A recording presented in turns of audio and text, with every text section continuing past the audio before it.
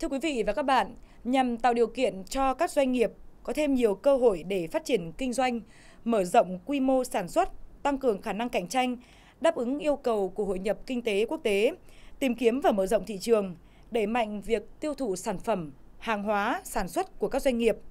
Ngành Công thương Yên Bái đã tích cực đẩy mạnh các hoạt động xúc tiến thương mại trong năm 2015 nhằm góp phần phát triển kinh tế xã hội của địa phương.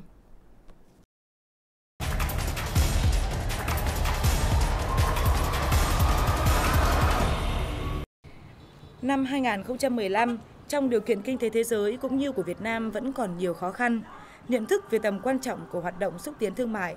đối với việc tìm kiếm mở rộng thị trường, đẩy mạnh việc tiêu thụ sản phẩm hàng hóa sản xuất của các doanh nghiệp.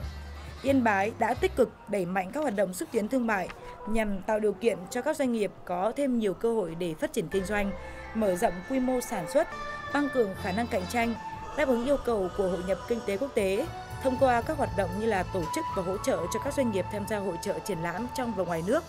cung cấp thông tin thị trường qua trang thông tin điện tử, xây dựng website và tham gia vào cổng thương mại điện tử quốc gia nhằm giúp các doanh nghiệp trên địa bàn ứng dụng thương mại điện tử. Thì các hoạt động xúc tiến tập trung vào tìm thị trường cho các cái sản phẩm. Thì thông qua những cái việc như thế này, ví dụ tổ chức gian hàng của tỉnh tham gia vào các hội trợ uh, trong chương trình xúc tiến thương mại quốc gia ở các tỉnh thành trong cả nước là tập trung vào tìm thị trường cho các sản phẩm, tìm đầu ra cho các sản phẩm, kể cả ờ, thị trường xuất khẩu, thị trường nội địa. Thế ở đây thì chúng tôi ờ, hiện nay về là vì là một tỉnh miền núi, cái việc mà giao tiếp với các cái hệ thống ờ, các cái doanh nghiệp của thị trường nước ngoài cũng như là trong nước thì nó cũng rất là hạn chế. Vậy thì chúng tôi vẫn vẫn đưa ra cái cái phương án đẩy mạnh cái việc quảng bá các sản phẩm và giới thiệu các doanh nghiệp mà trên các à, trên sàn giao dịch thương mại điện tử Yên Bái và trên cái website của sở. Tiếp tục hưởng ứng cuộc vận động người Việt Nam ưu tiên dùng hàng Việt Nam,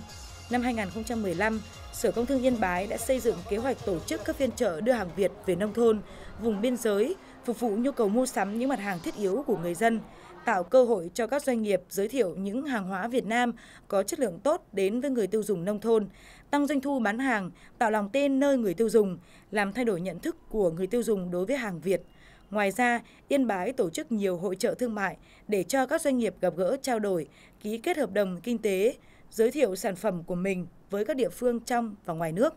Tôi nghĩ là cái cuộc cái hội trợ này cũng là cái việc tiếp thị phải nói như thế. Đấy thứ nhất là để tôn vinh mình. Cái lý thứ hai là toàn bộ bà con à, trong à, trong và ngoài nước biết đến. Thế tôi nói rằng trong và ngoài nước biết đến rất nhiều. Thế nên cũng là đây, đây tôi tôi nghĩ là đây là một cuộc mà mà rất rất lợi cho cho doanh nghiệp. Có thể nói, các hoạt động xúc tiến thương mại đã góp phần tích cực trong việc hỗ trợ doanh nghiệp phát triển thị trường. Tuy nhiên, thực tế công tác xúc tiến thương mại vẫn còn nhiều hạn chế. Kinh phí bố trí cho công tác hạn hẹp, hình thức xúc tiến thương mại còn đơn điệu và hiệu quả chưa cao việc hỗ trợ doanh nghiệp nghiên cứu khảo sát thị trường, nhất là thị trường nước ngoài vẫn chưa được thực hiện. Doanh nghiệp chưa nhận thức được đầy đủ về tầm quan trọng của công tác xúc tiến thương mại. Do vậy, còn ít các doanh nghiệp tham gia vào các chương trình xúc tiến thương mại của tỉnh. Đối với các doanh nghiệp tham gia các hội trợ, triển lãm, còn tập trung vào mục đích bán hàng mà chưa chú ý đến lợi ích lâu dài là nắm bắt thị hiếu người tiêu dùng, xây dựng hình ảnh, nâng cao giá trị hàng hóa, sản phẩm của các doanh nghiệp để có chiến lược lâu dài trong phát triển thị trường – các cán bộ xúc tiến thương mại vẫn chưa đáp ứng được yêu cầu do chưa được đào tạo. Cái sản xuất ờ, hàng hóa của Yên Bái thì đó là sản xuất chè, sắn, rồi là tinh dầu quế và các sản phẩm về gỗ. Ờ, tuy tuy nhiên thì Yên Bái là cái, cái vùng miền núi nên cái điều kiện giao thương mà biết được cái nhu cầu tiêu thụ cái sản phẩm này cũng còn rất hạn chế. Để mà tiêu thụ các sản phẩm như tôi vừa nói thì ờ, tỉnh Yên Bái có mở các chương trình xúc tiến thương mại. Thì nhiệm vụ của xúc tiến thương mại chính là giới thiệu các sản phẩm của chúng ta tiêu thụ ra nước ngoài hoặc là tiêu thụ ra trong nước. Trong thời gian tới, Yên Bái tiếp tục chú trọng công tác xúc tiến thương mại, thông tin thị trường, xây dựng thương hiệu hàng hóa, tổ chức các hội trợ thương mại trong và ngoài tỉnh để các doanh nghiệp giới thiệu quảng bá sản phẩm, tìm đối tác đầu tư sản xuất kinh doanh và tiêu thụ sản phẩm hàng hóa,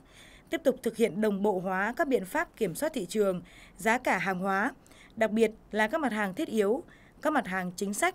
tăng cường công tác kiểm tra xử lý các trường hợp lợi dụng để tăng giá hàng hóa trái quy định, áp dụng chính sách bình ổn giá tại địa phương, thực hiện chương trình kích cầu tiêu dùng và cuộc vận động người Việt Nam ưu tiên dùng hàng Việt Nam.